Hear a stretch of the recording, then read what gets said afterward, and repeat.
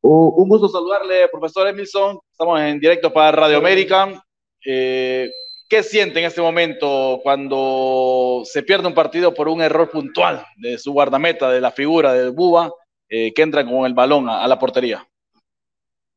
Muy buenas noches a todos, un gusto poder compartir con ustedes. Bueno, mire, en primera instancia, obviamente hay tristeza por el, por el resultado eh, de la pérdida obtuvimos esta noche. En cuanto a lo segundo, eh, vamos a verificar eh, el video para poder tener una, una descripción más clara, pero aunque fuese así un gol por un error de, Luis, tampoco lo vamos a, cargar. Es un jugador que nos ha salvado de muchas en otras ocasiones y tampoco queremos ser injustos.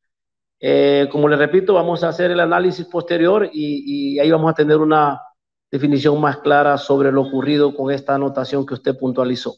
Sí, mire, eh, la planificación eh, estaba de acuerdo a lo que esperábamos y eso se nos dio. Lo que esperábamos se nos vino.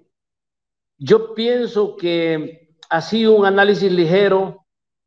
creo que más que llegada nos faltó un poco más de certeza en el último pase en esa conexión que hay entre medio campo y nuestros delanteros, ahí nos tuvimos certeros, tuvimos erráticos y es un punto a mejorar en la siguiente semana de trabajo. Obviamente, eh, cabizbajo, no solo por el error, sino por la pérdida.